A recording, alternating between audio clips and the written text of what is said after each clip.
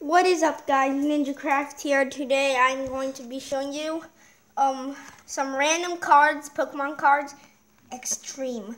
There are two. Okay, there's usually one, but now it's two.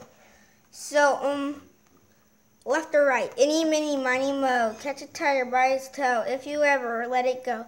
My mother says that you are the very best one, and that is you. Okay, and... Oh my gosh. Look at that Infernape, um, 2008.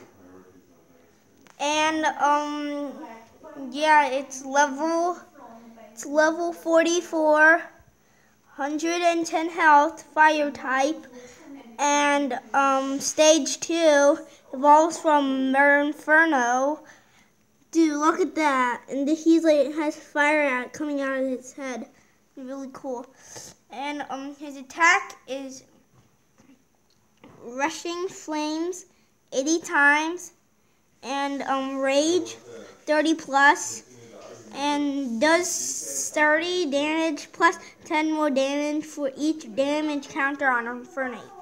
And um yeah, this is a really good card. Um weakness to water um 30 plus and um yeah, it's a 2009. Sorry. Yeah, it's a 2009 Infernape. Yeah. Okay, so um, now we have this Pokemon card to reveal, and it is a Beedrill, um, holo, I think. I'm not sure. You can see um, can see um, there's some leaves on the card, like some shiny stuff, and uh, and um, there's a stage two, um, Kakuna.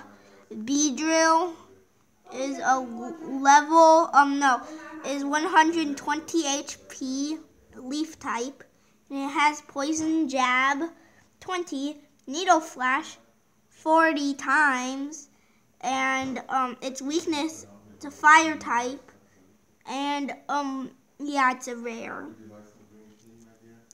Uh, yeah, and um, that will be it guys for this video. Um uh yeah make sure to like and um yeah see you guys next time. Bye